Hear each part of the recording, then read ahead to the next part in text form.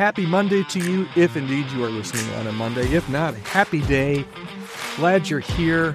This is the Healthy Church Staff Podcast, and my name is Todd Rhoades. I'm one of the co founders over chemistrystaffing.com and your host here on the Healthy Church Staff Podcast. We all know the cliche that says hire slow and fire fast, but in ministry, mistakes they seem even higher.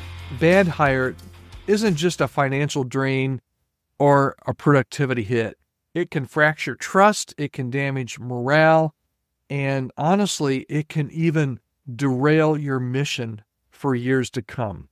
But what exactly is the real cost of a bad ministry hire? That's what we're going to talk about today. And here's a tip it's not just about the salary you're paying out or the severance package that you might owe at the end of this experiment with a bad hire.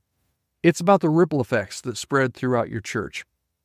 Now, studies have shown that a bad hire can cost uh, a company, not a church, but a company, up to about 30% of the employee's first year earnings. But in ministry, I think it's higher than that. I think it's higher than 30%. And here's why a bad hire at a church sets in motion a series of consequences five that I can think of just off the top of my head.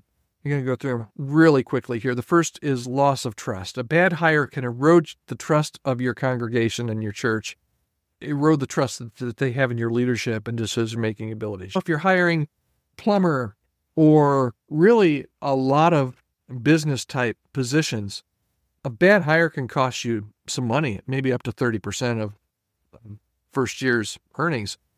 But usually it doesn't cause the trust of your whole organization to suffer. But in the church, it can. You can a bad hire can really erode the trust of uh, your church in your leadership and in future decision making. Okay, so loss of trust. Damaged morale is a second thing. A toxic or incompetent staff member can really poison the atmosphere of your church and, and demotivate your team and create a culture of negativity. It also, a bad hire will cause there a lot of times to be a disruption in ministry. When a staff member isn't pulling their weight or actively is actively causing some problems, it real it dis, it disrupts the flow of ministry and hinders hinders your church's progress. And when you have to replace that individual, things a lot of times come to a halt. So there's a disruption in ministry. There's also a financial strain besides the direct costs, and we've already talked about those a little bit of salary and benefits, a bad hire can lead to lost giving and decreased attendance and increased conflict, all of which are going to impact your bottom line. The loss of trust and the damaged morale and the ministry disruptions a lot of times will show themselves not only in those three areas, but also in some financial strain as that kind of trickles down. And then Let's not forget the emotional toll. Dealing with a bad hire can be absolutely emotional draining for everybody involved, leading to stress and anxiety and even burnout. And just the emotional toll of having to start that whole search process to replace that person again is just um, pretty traumatic. How can you avoid this ministry mishap?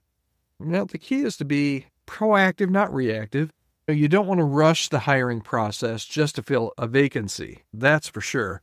Instead, you need to take the time to do, I think, four things that will dramatically help you decrease the possibility that you'll make a bad hiring decision. First is clearly define the role. Know exactly what you're looking for in terms of skills and experience and character and cultural fit.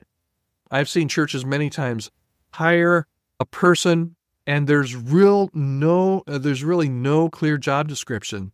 There's no there's no real realistic expectation of what this role even is or how you're going to determine whether this person is doing it well or not doing it at all. So start before you ever hire with a clearly defined job description and know what the role is.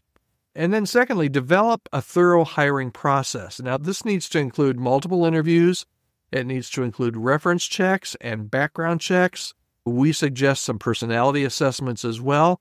So make it a thorough hiring process. Don't just hire somebody And, at chemistry, we have five different things that I'd love to share with you sometime.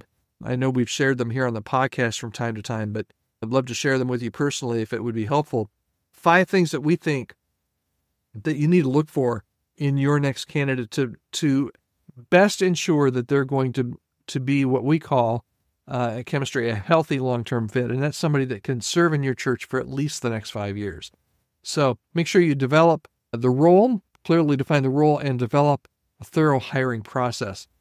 Third, you need to involve multiple stakeholders. So get input from your leadership team, from your key volunteers, from your staff, even potential team members of the new hire. The more people you talk to, the more people, and I'm not saying you got to talk to everybody, but make sure you do your due diligence. And again, don't just hire somebody because you like them.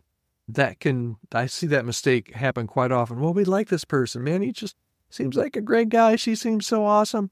And they are awesome, but they're not the right fit for the role. So make sure you involve multiple stakeholders. And lastly, and this is big for churches because we like to be nice. Many churches are not nice, but we like to say that we're nice. But don't be afraid to say no. If a candidate doesn't feel right, don't settle. Don't fill the position to fill the position. It's better to keep looking than to make a hasty decision that you'll regret later. And here's where chemistry staffing comes in. We're not just a staffing agency, we're really a partner for you and your ministry. We'll work with you to understand your unique needs and identify your ideal candidate profile and go through that whole search process for you if you'd like us to. Uh, we also offer, I've mentioned it here on the podcast in the past couple of weeks, what we call a final fit assessment. If you're doing your own search and you get down to one or two candidates and you're like, I would just like to do a little bit more due diligence, have somebody else take a look at this candidate, take a look at us and see if that is a good fit or what are we missing here. It's called a final fit assessment, and you can reach out to me anytime, podcast at chemistrystaffing.com, and I can tell you a little bit more about that. But here's your bottom line a bad hire can cost your church far more than just money. It can impact your mission, it can impact your morale and your overall effectiveness. And by investing in a thoughtful and thorough hiring process, you can significantly reduce your risk of making a costly hire. Now, is it a hundred? You, you follow everything I just said you said to you about what to do and what not to do. Is it still is it a hundred percent insurance policy that you're going to hire the right person? No, there's always risk. There's always risk, but you want to mitigate the risk as much as you can. And by doing these things, by taking uh, these steps, you can really take a lot of the stress out of the process, and you can also uh, kind of increase, I believe, dramatically the chances of hiring somebody that's going to be, as I said, a healthy long term fit. This has been helpful to you, and if it has been, even if it hasn't been, give me another try. Come back tomorrow here on the Healthy Church Staff Podcast. We're here every day, Monday through Friday, uh, with words, hopefully, of wisdom and discernment for you as a church staff. Talk to you tomorrow.